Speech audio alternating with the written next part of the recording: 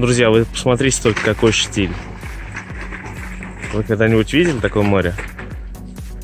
Ни одной волны. Все идеально ровно, как зеркало. Просто красота, друзья. Вот в такую погоду особенно замечательно покататься на каком-нибудь гидроцикле.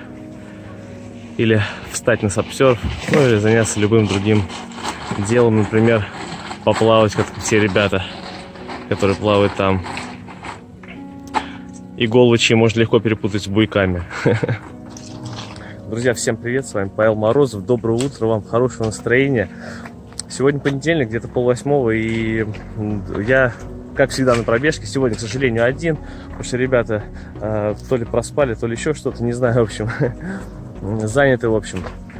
Но ничего, я не отчаиваю, все классно, настроение супер. И делаю это не для ребят, а для себя, что, чего я вам желаю. Хотя бы 15-20 минут в день пробегитесь, друзья. Сегодня понедельник. Получите заряд бодрости на всю неделю. И у вас будет все классно. И со здоровьем, и с настроением, и с настроем, и с мыслями в голове. Это немаловажно. Пойдемте покажу вам саму воду поближе.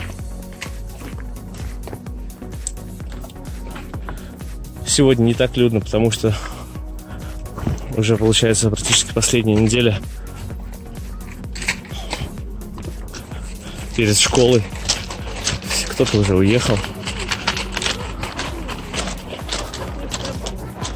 Он везут банан и таблетку. Но вода, друзья, у нас вот такая. Просто кристально чистая, друзья.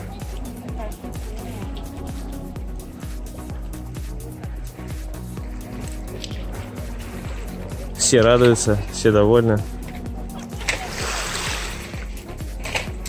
Вообще красота. Конечно же, очень приятно купаться в такой чистой воде, друзья. Без волн особенно.